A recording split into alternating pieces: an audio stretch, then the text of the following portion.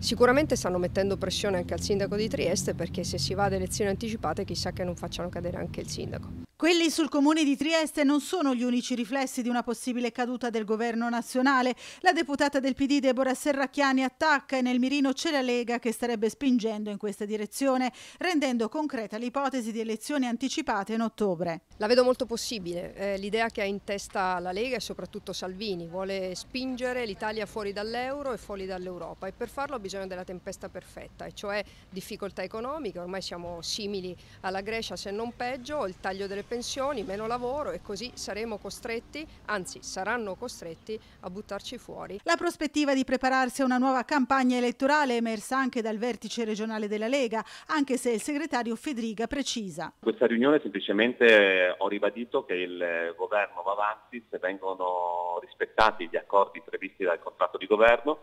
Io sono, io sono fiducioso in tal senso, ma questo vuol dire mettere in campo la diminuzione della pressione fiscale, continuare sulla lotta all'immigrazione clandestina, eh, avere un governo che funziona e fa bene come ha fatto nei primi dieci mesi di mandato altrimenti è chiaro che fare il governo a prescindere non ha senso perché il governo è un mezzo, non è un fine. Beh, Federica ha parlato chiaro, ha riunito i suoi, sta mettendo pressione al sindaco di Trieste, chissà che rimanga a fare il presidente della regione oppure non vada magari in altri luoghi a occupare poltroni, poltrone ancora più pesanti. La poltrona è un mezzo, non può diventare un fine perché altrimenti vorrebbe dire ridursi come coloro che hanno preceduto, da Renzi a Gentiloni ai vari esponenti del PD che sono stati ancorati alla poltrona a prescindere. Noi vogliamo dare risposte ai cittadini, voglio essere ottimista e quindi eh, la prospettiva del governo è di quattro anni, ma è chiaro che tutto è vincolato alle cose che si riescono a fare.